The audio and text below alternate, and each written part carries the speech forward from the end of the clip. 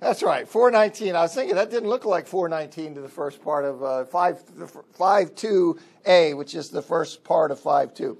There, John makes the point that loving God and loving one another are inseparable. And we talked about that's right where we finished last week.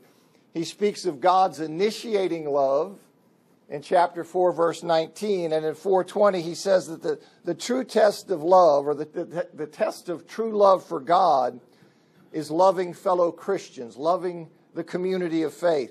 And then in 421, he says that Christians are commanded by God to love one another. And then 5 1 and verse 2, the first part of verse 2, he says that to love God is to love Christians because Christians are God's children, and anyone who loves the Father loves the children of the Father. So that's his argument that he makes there. So in 419, in this section, 419 through 52a, he stresses that loving God and loving one another are inseparable. And then in 52b through 55, where I want to pick back up, he makes the point that loving God and obeying Him are inseparable. So it's just a broader thing. The idea loving God and loving one another are inseparable then loving God and obeying Him are inseparable, which is just a broader notion. Loving one another is one aspect of obeying God. Now he broadens that out here in 5 2b through 5. He says, We also do His commandments. You see, let me go back to the last one. He says, In this we know that we love the children of God when we love God. We also do His commandments. For this is love of God, that we keep His commandments, and His commandments are not burdensome because everyone having been born of God overcomes the world. And this is the victory that has overcome the world our faith. But who is the one who overcomes the world except the one who believes that Jesus is the Son of God? So he says in, in 5 2, second part, and the first part of, of verse 3, and I, let me say, it makes more sense to me to begin a, a new sentence here with this last clause of verse 2, but I seem to be alone in thinking that. So I alert you to that.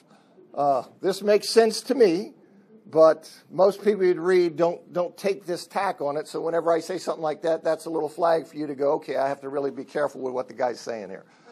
All right, but, but I think it makes more sense. It does to me. Now, not only do we know that we love God's children when we love God, that's what he said at the end there, at the end of, of or in the first part of 2 that we know we love, we love the children of God when we love God, we also obey his commandments when we love him. So when we love God, we love his children, and we also obey his commandments. And we do so because keeping his commandments is an essential aspect of loving God. See, we tend to pull those things apart and think of loving God in some kind of abstract sense, but these things are connected. You see, this notion of keeping his commandments is an essential aspect of loving God. See, that's why Jesus could say in the Gospel of John, chapter 14, verse 15, If you love me, you will keep my commandments. And in our society and culture, that seems strange. If you love me, you'll keep my commandments. Well, what does that have to do with my loving you? I love you. But I don't no, but see, these things are, that's an essential aspect of loving God. John Stott, in his commentary says, whether shown to God or to humans, agape is always practical and active. Love for your brothers and sisters expresses itself with actions and in truth, as John had said earlier, and especially in sacrificial service. Chapter 3, verse 7, 17 and 18. Love for God in carrying out his commands. So, this is this thing. He says, so we also obey when we love God.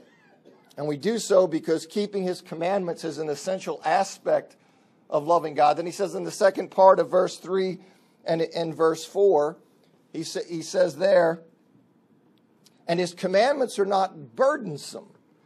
You see, as, as I suspect the false teachers said or implied, you see that all this idea of doing this stuff and obeying somehow because they say that's not really important. That's not really relevant. You don't have to care about what you do with your body here because this is all meaningless.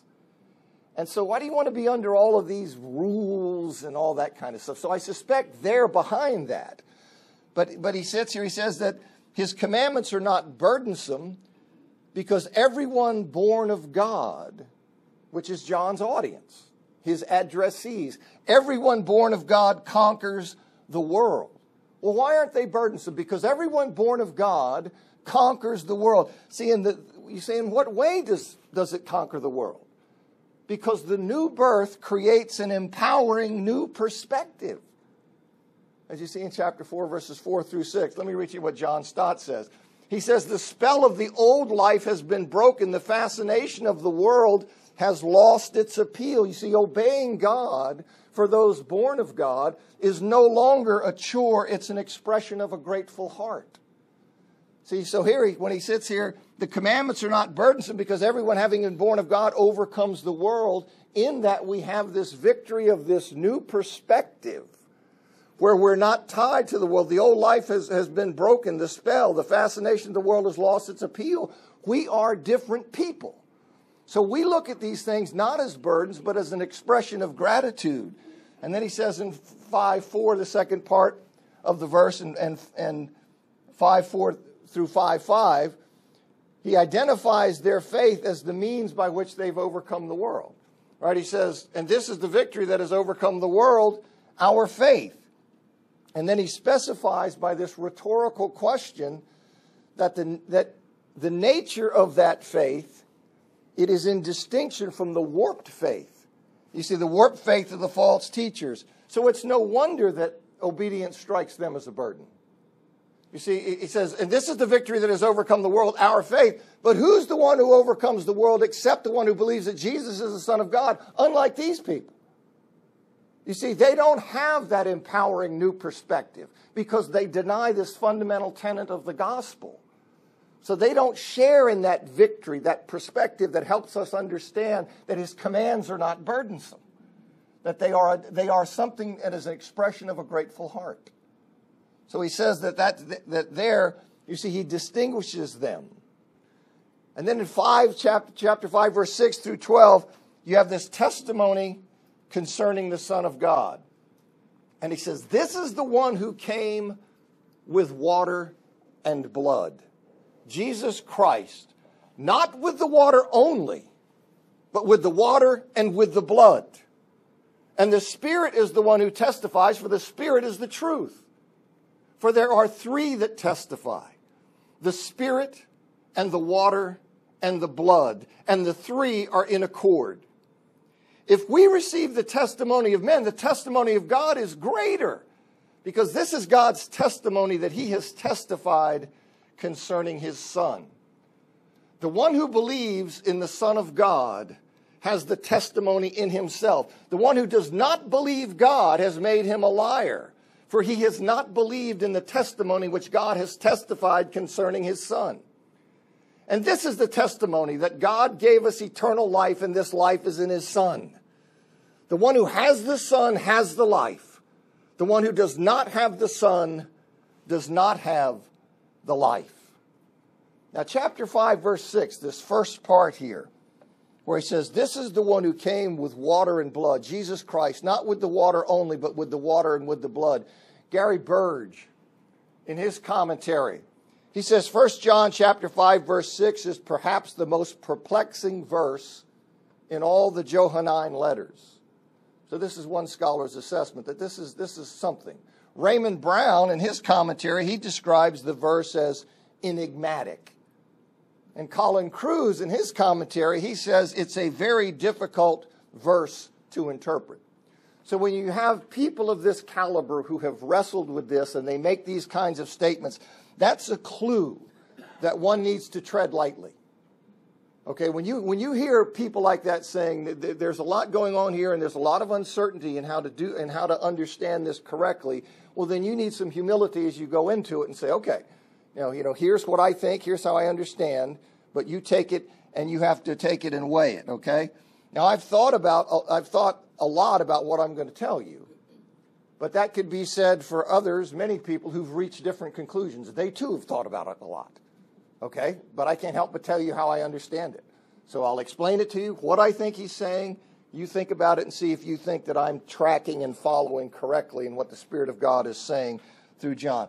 First, you have to notice that you see the prepositions. I've taken the prepositions. There are two different prepositions in these two clauses.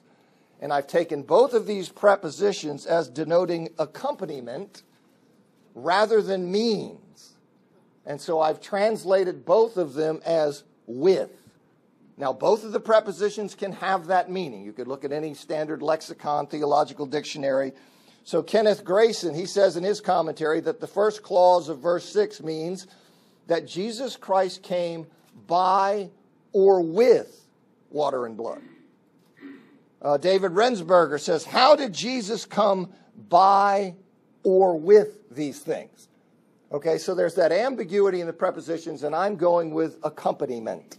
Okay, so I'm going with with. Now, John clearly, John clearly is taking issue as I see this. He's clearly taking issue with the false teacher's claim that Jesus came only with water and not with water and blood. Somebody's saying, look, he, he came with water, but not with water and blood. And John is taking issue with that notion that he came only with water and not with water and blood. John agrees that Jesus came with water, but he insists that contrary to the heretics that he came not only with the water, but with the water and with the blood. See, so yes, he came with water, but not only with the water. He came with the water and with the blood. So, however one understands the meaning of coming with water and coming with blood, that understanding has to fit that framework. Okay, the framework that I'm telling you is that John sees there's an issue here. You have somebody claiming that he came with water, but not with water and with blood. And John says he came not only with water, yeah, that's right, he came with water, but he came with water and with blood. That's right, that's how I see the issue. Okay, so that, that shapes then how I'm going to understand this. I think that's pretty clear. And so that then is, is something, it has to fit the framework. Whatever understanding we plug into this is to fit that framework. And what I think John is saying is that Jesus' effort to rescue mankind, his coming, involved not only the baptism he instituted, it involved not only the baptism he instituted, but also and centrally, it involved his atoning death. It involved not only the water, but also and centrally, it involved the blood. Now, most scholars recognize that Jesus coming by or with water, that it refers in some way to baptism. Okay, that's not something, that's not some Church of Christ thing. You know, you say, oh, yeah, you Church of Christ, you see baptism everywhere. All right, no, most scholars recognize there's some connection. You see, let me give you an example. David Rensberger says in a Christian context, water must surely refer in some way to baptism. So it's not some kind of crazy idea. Most scholars recognize that there is, in some sense, a, a reference here to baptism, but most believe it refers to Jesus' baptism by John. That's where most would come and see it, okay? But with Colin Kruse, I consider it more likely that it refers to the baptism that Jesus instituted. And let me flesh that out. Well, why do I think that? Why do I think it's more likely that it refers to the baptism that Jesus instituted rather than Jesus having been baptized by John? Well, the phrase with water, that's used three times in the Gospel of John in reference to John the Baptist's baptizing ministry. And most tellingly, in John chapter 1, verse 31, John reports the statement of John the Baptist that he came baptizing with water. And see, I don't think that it's a stretch to believe the apostle's statement in 1 John chapter 5 verse 6 that Jesus came with the water is a shortened reference to the same concept that Jesus came baptizing with water. You see, John certainly was aware that Jesus instituted a water baptism. He refers to Jesus' baptizing ministry in a number of places. John chapter 3, verses 22 through 26. John chapter 4, verse 1. Though, as you know, Jesus entrusted the actual baptizing of people to his disciples. You see that in John chapter 4, verse 2. So the contrast that John the Baptist draws between his baptizing with water and Jesus baptizing with the Spirit. You know, he makes that distinction. I baptize with water, and when coming out, I baptize with Spirit. Now, that contrast that he makes in John 126 to 33, it doesn't negate the fact that Jesus instituted a water baptism. John is clear in the verses I just referred to that Jesus did institute a water baptism. Not to mention what's said in Matthew chapter 28, verse 19, and what's said about Christian baptism throughout the rest of the New Testament. So, you know, the fact what John says, I baptize in water, but he, you, you can't say then Jesus' baptism, he didn't institute a water baptism because John said, I baptize in water, but he didn't become baptized in the Spirit. Because it's clear Jesus instituted a water baptism. Rather, Jesus now baptizes with the Spirit in conjunction with the water baptism he instituted. That's the birth of water and spirit. You see that that's referred to in John chapter 3, verse 5. Here's what Martinus C. DeBoer in a 1988 article in the Journal of Biblical Literature. He says, unlike the baptism of that other baptizer, John, his baptism, Jesus' baptism with water, was also baptism with the Holy Spirit. You see, it occurs in conjunction with. It's not like, well, he didn't institute a water baptism. How can you say that and read what John says? How can you say that and read the rest of the New Testament? He instituted a water baptism, but the Spirit baptism is associated with that water baptism. Colin Kruse, he says Jesus once baptized with water, but now baptizes with the Spirit, and it has been suggested that those in the author's community understood that Jesus now baptized people with the Spirit when they baptized them with water in Jesus' name. And I think that's right. And don't we say that? I baptize you now in the name of Father, you, you, you know, your sins be forgiven. You receive what? You receive the gift of the Spirit. See, there's the, the, they, they occur in conjunction. These, this gift of the Spirit is connected and associated with baptism in water. So these things are leading me to say, listen, I think Kruse, uh, Colin Kruse is right when it's more likely that when he says he, this came with water, that it's referring to the water of the baptism that Jesus instituted. But perhaps most importantly in that regard is the statement that Jesus, when he says Jesus came with blood, okay, when he says Jesus came with blood, that clearly refers to his giving his life in sacrifice for the sins of mankind. You see, that's the meaning of blood.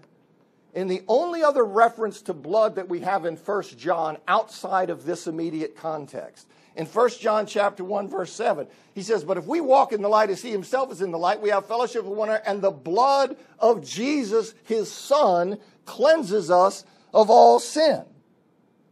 You see, so it's this idea of his giving his life in sacrificial uh, atonement. That's what he's talking about. And since his coming with blood refers to something that he did, right, rather than something that was done to him, if his coming with blood is in fact a reference to his giving his life in sacrifice for us, then it's a reference to something he did rather than a reference to something that was done to him. He laid down his life for us. 1 John chapter 3 verse 16. You can look in John chapter 10 verse 17 and 18. So if that's right, then the parallel of his coming with water is better understood as something he did instituted a baptism rather than something done to him was baptized by John. Okay, so I, am thinking it's more like this that this reference to water and this reference to blood is a reference to the baptism he instituted and to his laying down his life as an atonement for our sins. That's the water and that's the blood. And we know that at least some second century Gnostics, we know at least some of them considered baptism to be very important. You remember that John here is dealing with what's probably like a proto Gnosticism, not a fully developed Gnosticism. That's, that's generally thought to be a creature of the second century. We're in the late first century. but there seem to be a lot of commonalities and, and things in, in the heresy that these guys are, are presenting. And so when we look at, well, how did Gnostics in the second century view baptism? And of course, there's a great variation. But here's what uh, John Harris says in his book, Gnosticism, Beliefs and Practices. He says, as far as the meaning of baptism goes, the Gnostics seem to regard it as a rite of purification or of cleansing in preparation for admission to the pleroma, the ultimate realm of the true God. It also had an element of initiation into the mysteries of gnosis, knowledge. The Valentinians viewed baptism, that's one of the groups of Gnostics, the Valentinians viewed baptism as a redemption rite. And both they and the Sethian Gnostics regarded baptism as the assurance of immortality. Through baptism, the baptized received the spirit of immortality, and thereby the baptized became a pneumatic spiritual being. This was equivalent to receiving the immortal spirit of Christ. So it's not unreasonable to think that John's opponents in 1 John that they combined a Gnostic like Christology. Okay, remember I've talked about, you know, their ideas about God the Son didn't actually become the historical person Jesus of Nazareth. You see, whether he only seemed to be or whether he temporarily inhabited him. You see, they have a very fundamental Christological error. So it's not unreasonable to think that they combine that false Gnostic like Christology with an emphasis on the baptism instituted by Christ. So, whereas they were down with the importance and idea that, yes, there's something significant going here, and they said he came with water, John says, well, he did come with water. But what you're missing is that he also came with the blood. That's what you're missing. He came not only with the water, he also came with the blood. See, so John agrees with the false teachers that Jesus came baptizing and that one's submission to that baptism is a pivotal spiritual event. However, they may disagree about the particulars of the baptism's significance. But you have Gnostics who reasonably, these proto Gnostics, John's opponents, it's reasonable to me to think that they recognized or believed that Jesus came instituting a baptism that had some spiritual significance. And John says, okay, yes, he came instituting a baptism, and yes, his baptism is a pivotal spiritual event. But he rejects the notions that the blessings received at baptism can be separated from Christ's death on the cross. You see, they are inextricably linked. Jesus Christ, the Son of God, came not only with the water, but he came with the water and with the blood.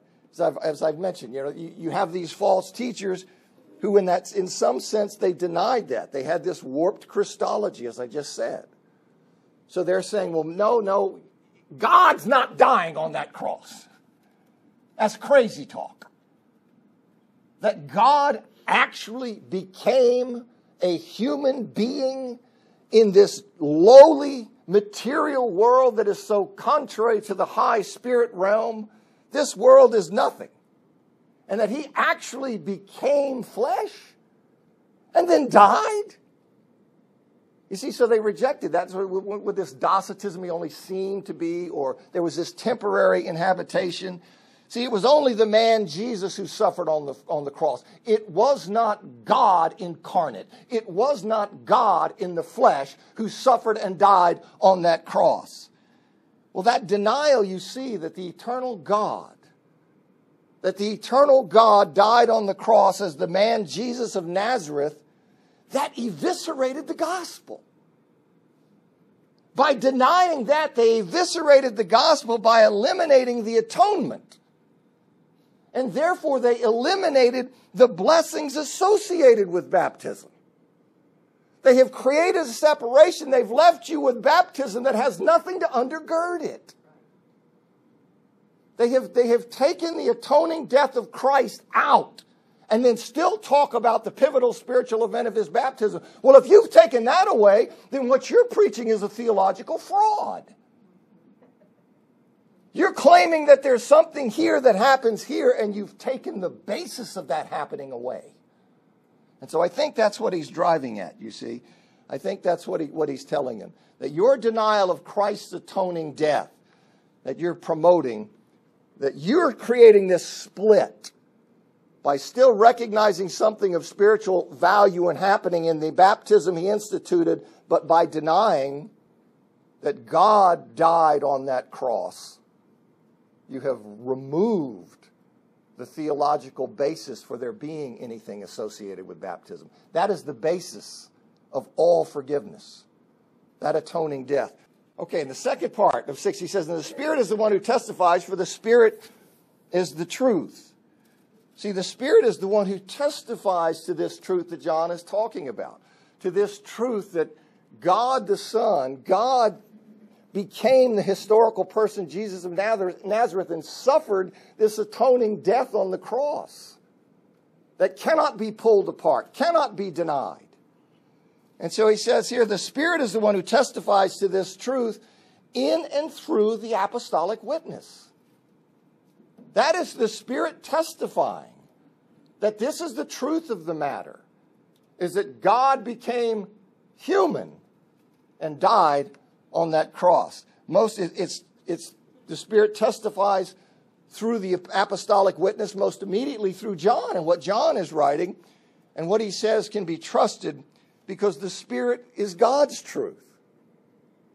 You see, he speaks the truth of God.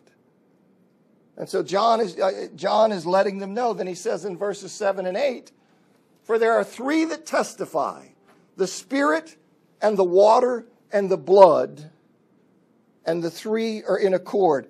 So you not only have the Spirit through the apostolic witness in the church, through most immediately now through John, you not only have that testimony, you have three of them. You have the Spirit, the water, and the blood testifying, and they're all on the same page. They're all saying the same truth, which is, of course, something that's necessary in the law. The witnesses have to agree.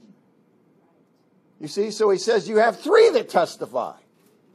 You've got the Spirit, you've got the water, and you've got the blood. Now, I suspect what John means is that the Spirit testifies to this truth through the message of the apostles that is preached in the church and, and now repeated by John and the water of baptism and the blood that was shed on the cross, they bear silent testimony to the same truth. You see this idea, you've got the, you, he comes with water and blood. So you have the Spirit testifying to that truth. You have the water of baptism with which we're all familiar, testifying to that truth. And you have the blood that poured out on the cross, testifying to that truth. Whether or not they accept it, it bears silent witness, and it is a fact that that blood came from God the Son. And so there it sits as this silent witness bearing testimony to the truth that John is saying he came, yes, with water, but also as God incarnate and died on that cross. This is gospel stuff. And that blood sits there and bears silent testimony to it. It did, in fact, flow from the veins of Christ. It wasn't an appearance, it wasn't a temporary thing that only the man Jesus suffered on the cross. That blood that is there calls out in witness that it was the blood of God the Son. Now, if you have a King James or a New King James, you'll see there's some additional words here at the end of verse 7 and the beginning of verse 8. And here I've highlighted those there for you. And it's universally recognized that that's not part of the original text.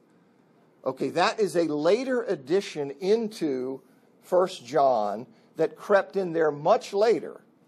And you say, well, why did the King James Version work off of that? Well, that was the manuscripts that they had to work from. Let me read to you what Colin Kruse, this is just a footnote, by the way. I, it, sometimes when you run across things, you say, well, why does the King James say this? Put this over to footnote, and I just like to point these things out. Colin Kruse says, this longer version, known as the Johannine comma, comma meaning sentence, is preserved only in a few later Greek manuscripts dating from the 10th to the 18th centuries. It is thought that the Johannine comma found its way into the Greek manuscripts via the Latin manuscripts of the ninth century. The Johannine comma is found in no early Greek manuscripts and is not found in the old Latin versions before the 7th century, nor in the Vulgate before the 8th century. It is correctly omitted from all modern translations of the New Testament. David Rensberger says, Unfortunately, the added words were incorporated into the Greek text commonly printed from the 16th century. So when you had the translators, they had, well, what text do we work off of? What they had access to was what was printed then, so they took an inferior Greek text that we now know to be inferior and they wound up looking at these and incorporating it. So that's how that got in there. And then once something gets in there in terms of Bible, it doesn't matter how strong the case is that it shouldn't have been in there in the first place. People are loath to mess with it. You see, so what you probably you a lot of times you'll still have these things footnote. Earliest manuscripts don't have this in there, but we don't want to upset you and have you not buy our Bible, so we're putting it in there. All right, so that I mean that's he goes on. He says commonly printed from the 60s until, the rise of modern critical editions of Textus Receptus, and so uh, were also included in the King James Version. All right, so that's really, as I say, that's just a footnote for the curious. Verse 9, he says, If we receive the testimony of men, the testimony of God is greater because this is God's testimony that he's testified concerning his Son. We accept human testimony, we accept it all the time. All kinds of ways, shapes, and forms. We accept that, right? But surely God's testimony by the Spirit is more compelling because it's God's testimony. You're going to take the testimony of people, then certainly you've got to take the testimony of God. Coming through the Spirit, coming through the apostolic witness, coming through what John is saying. You're going to take the testimony of men, which we do. Well, then you're going to take the testimony of God. Surely his testimony is more compelling because it's his testimony it's testimony he has given about his son. So remember, John is what? He's trying, he, he's calling these people out who are presenting this false gospel. And he's saying they are ripping apart, they are they in their false Christology, they are eviscerating the gospel. This isn't small potatoes. This isn't is it okay to wear jeans to church? This is serious stuff. You see, this, this is heart gospel stuff. And so he's saying, You believe people, well, you're going to need to believe God because God is putting it out there. And then he says in verse 10 The one who believes in the Son of God has the testimony in himself. The one who does not believe God has made him a liar, for he's not believed in the testimony which God has testified concerning his Son. The person who believes in the Son of God, meaning believe, believes that Jesus was the divine Christ.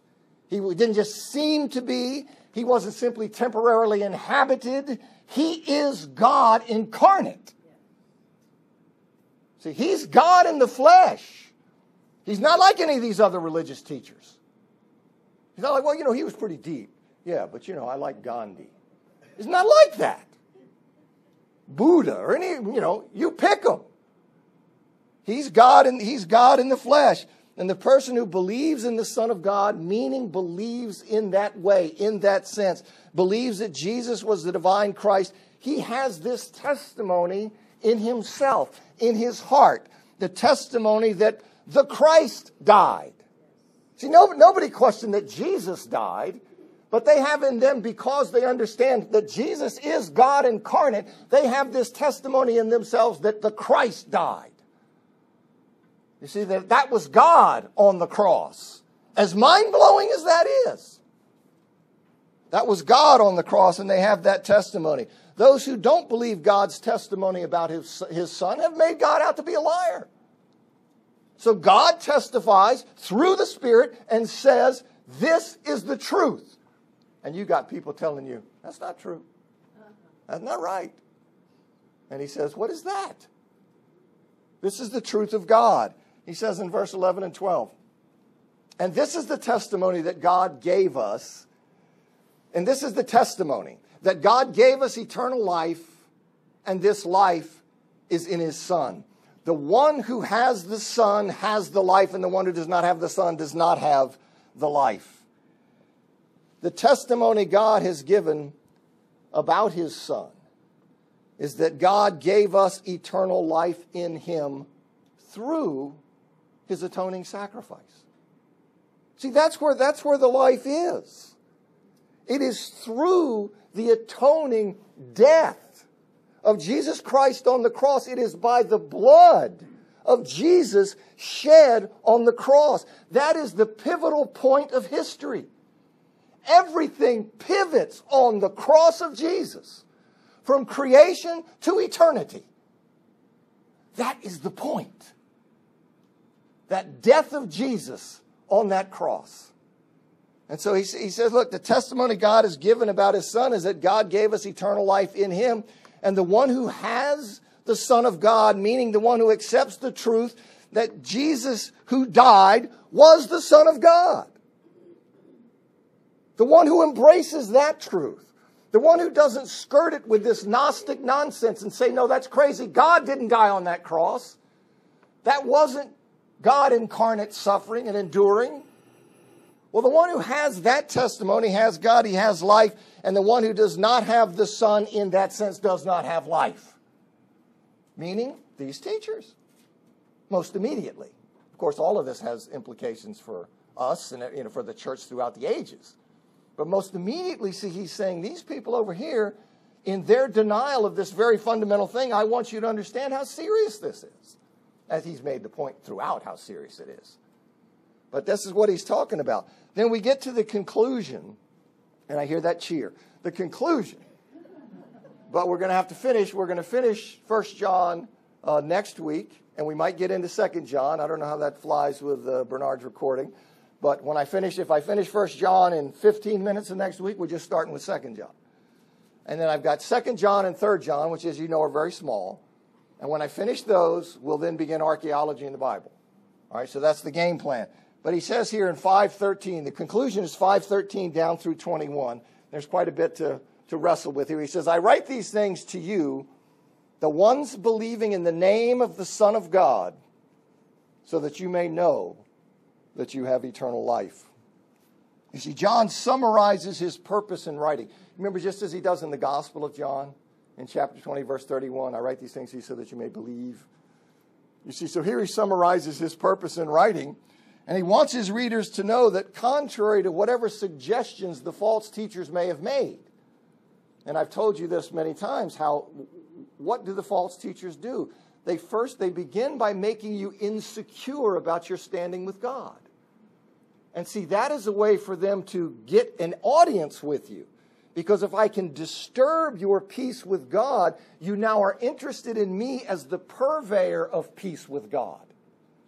See, I have to disrupt that, so then you might be interested in what I have to say because you're now in a state of anxiety, and what I'm marketing will relieve that. So he, you know, he, he says here, look, he wants them to know that contrary to whatever suggestions these false teachers may have made, that they have eternal life. They're not to allow these self proclaimed spiritual heavyweights to rob them of their peace and security. And that is a message the church needs to hear. The church needs to be at peace. John has said an awful lot about people who aren't really uh, walking in the light, who don't really have faith, who are spiritual frauds. We know all that. But we're not talking about people like that.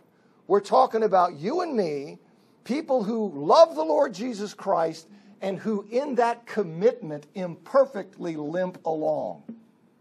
We need to be at peace. No anxiety, no sense of, oh, no, no, you know, God's ready. As though God is sitting here saying to me, out. I'm just looking for you to mess up so I can kick you out. That is a crazy view of God. Crazy wrong. Okay? So, this idea, he wants them to be at peace so they can just relax and not be spiritual neurotics. They can be at peace in that. And then he assures them regarding prayer. In 514 14 to 15, he says, And this is the confidence which we have before him that if we ask anything according to his will, he hears us. And if we know that he hears us in whatever we ask, we know that we have the requests which we've asked from him. See, being in Christ, as he's telling him, I, I want to assure you, you're, you're right. I want you to be at peace. Well, being in Christ, being children of God, they can be bold in approaching God as a child with a parent. You see, I mean, a child, you know, if there's a healthy relationship, I always have to footnote, I understand this is a fallen, broken world and that there are parental child relationships that are wrong. But I'm talking about in a normal parent child relationship. A child doesn't come to a parent with requests and, you know, like this I don't know. I, I can't. I can't. Why? Uh, he probably beat me to death. Although I, John and I did know a kid like that who was so terrified of his father when we were growing up. But see, so what? There's a confidence. Why? The confidence is in the relationship that that's my dad. Right? So this is this idea, what he's saying. Being children of God, they can be bold in approaching God and confident that he will favorably hear whatever they ask according to his will. Ah. You see, that's the thing. You know, well, that's true of parents too, right? your kid comes up and says, "Hey, I want to buy the I want to buy the bubblegum store. I want to go in there and you know ask spend fifty bucks and the buy." I heard that bell. Well, what are you going to say? Well, no. Is it because you don't love them? No. It's because you're a parent and you got a much bigger sight of what's really good for them. Okay, so there are things, see, that are not in God's will that you may petition and ask, and it'll be not now or it'll be no because you don't know what you're asking. But within that will, we are bold, and there's some other things I'll talk about next week. Heard the bell. Thanks for coming.